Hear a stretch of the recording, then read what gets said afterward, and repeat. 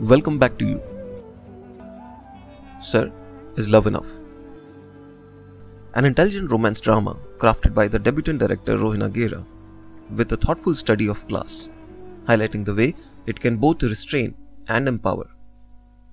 Hardly in Indian cinema we have seen a poignant depiction of how economic status so intrinsically governs romantic choices.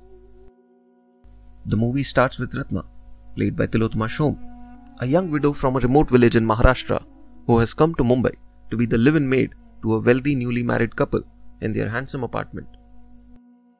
Her aim in life is to provide for her family, and particularly her sister, whom she wants to study and succeed in life. She herself has a goal of her own. She wants to become a fashion designer, a goal which we see her defending against the social barriers.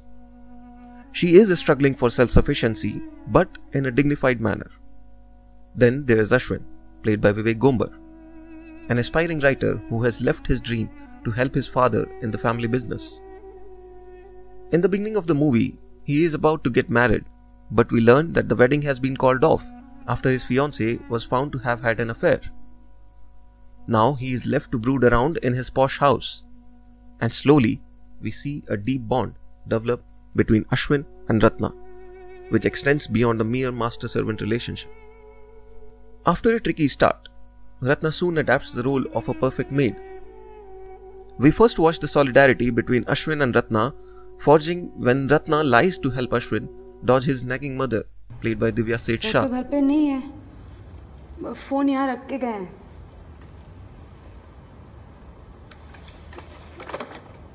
Thank you. She also tactfully suggests keeping all the unopened wedding presents in her tiny room so that he does not get upset.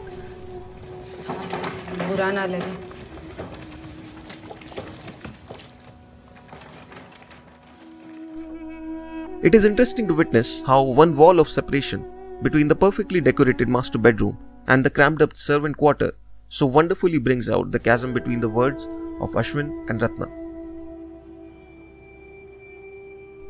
The two are at the two extreme ends of the social spectrum, and initially, even within the four walls, their words do not meet. Eventually, their words within the house starts mixing. Ashwin starts walking more freely into the kitchen and having longer conversations with Ratna. The situation between Ratna and Ashwin begins to thaw when he sees her dancing in the street during a festival, and they have to take a ride up the elevator afterwards. The atmosphere is pulsing with social and sexual tension. You wait for what may happen between the two when they are alone and feel edgy as to how things get revealed in public. Their love is not one where a damsel in distress is swept off her feet by a knight in shining armor. However, we see Ratna as worldly wise and taking the reins of her life in her own hands. Ratna needs to carve out an independent identity, as does Ashwin, who has sharp differences with his father in the way he runs his business. Keeping the drama limited to a high rise apartment and a few exterior shots, Gera uses the classical setup forbidden love between two lost souls You can't date your maid, Ash. to explore the questions of class and caste in a city that has grown from its colonial roots into a burgeoning world capital. Your mom would even sit at the same table as her. Forget everything. She doesn't know how to use a fork and knife. At an earlier epoch, she would have very few options, and an affair with her master would have never been conceivable. But Gera shows how times have truly changed. Still, Indian society remains strictly hierarchical for the most part, and Sir ultimately reveals how unbridled emotions cannot survive in such an environment. While Ashwin faces the pressure of his family and social standing, Ratna, who as a young woman has very few opportunities in life, is smart enough to know that her story with Ashwin will never end happily ever after. आप जो भी feel करें जो भी कहें आखिर में मैं आपकी सर्वेंट ही हूं ना It also symbolizes that Mumbai may be a modern megacity, but that does not mean that anything can happen, nor that people feel any less lonely there. The way spatial distance has been used in mirroring the society's classification of people stands out on its own. Characters against the backdrop of steel and glass towers that stretch up to the sky but feel more claustrophobic than liberating. The conversations on the terrace plays an important role in the movie, as if they are calling for the personal freedom. In the end, it is an hour and a half long, crisp film that will keep you hooked. The film is thought provoking and touches upon the very sensitive issues, but remains understated and non preachy. Tilotama Shome is brilliant as Ratna and layers her performance with hesitance, modesty, humiliation, willpower, often overlapping at times in different combinations. सब हंस रहे थे मुझ पे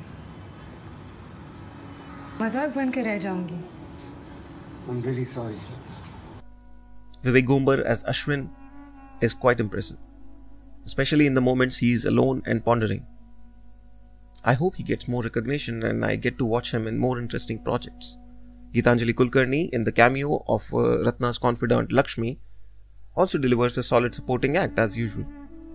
And for her first fictional effort, Rohena Gera has nonetheless crafted a warmly nuanced look at love in a place filled with constraints and contradictions and where a broken heart could perhaps be the first step towards emancipation. I brought those questions to this problem about how do we choose to love who we love and why. And I thought, oh, you know, I can talk about this problem through a love story, and, and then I don't have to be preachy. Because if you take on a social class problem or something that is a social problem, it's very difficult to do it in a way that's respectful of everybody and that's not preachy. I don't have the answers personally. I think I'm part of the problem. I think we need to think about the answers. So I, but I didn't know how to, what sort of story to tell. And then uh, when I thought of doing it as a love story, I, I realized that I can make these two characters equal. Companionship, profound emotional intimacy, and friendship can be found even in the most unexpected of places.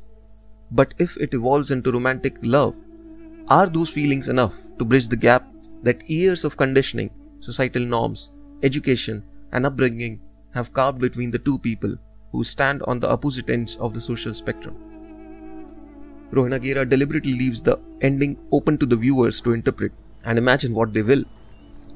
The ending depends on the viewer's perspective in life, whether they are pessimists and realists or optimistic dreamers and romantic idealists. This is why I love Sir. You can watch the movie on Netflix. If you like the video, kindly hit the like button and share the video. For more videos like this, kindly subscribe. Till next time, stay safe and have a good day. Ashwin.